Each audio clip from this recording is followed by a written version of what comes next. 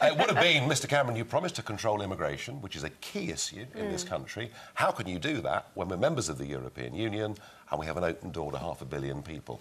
I don't think you wanted to be asked that question. OK, so here's, here's my thing, right? I want to ask you about immigration, mm. because obviously it, it is the hot potato. Um, when, when UKIP was ostensibly just you, uh, the clear message was very much Europe and immigration.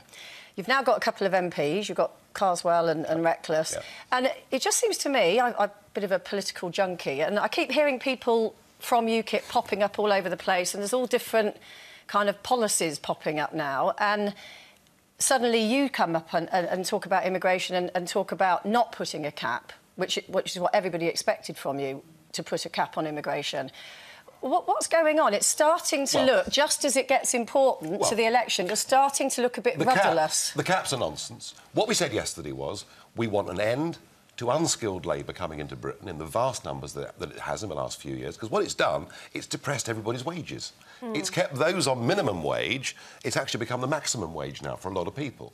So if you stop the oversupply of labour, people's wages in Britain will actually start going up. We also said yesterday we want, you know, hereafter, to have an Australian-style point system hmm. where we take people under the age of 45 hmm. who've got skills and trades. But I know, I know, know that. But Steven Woolfe was was on yeah. saying do put a cap at 50,000. So well, that was a week earlier, well, so it's I a think, bit flip-floppy, well, isn't it? No, because caps are useless. All these different caps and floors and ceilings, they're meaningless. But Steven Woolfe didn't get that memo, I he? want it to be I want it to be lower than 50,000, to be honest with you.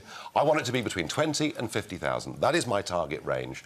But just to put an arbitrary cap doesn't mm. mean very much. If we had the Australian-style point system, yeah. we'd have people coming to Britain who didn't have criminal records, didn't have life-threatening diseases, would bring their own medical insurance and not be a burden on the, on the country. And I, am sure if we polled this audience, mm. a majority here would agree.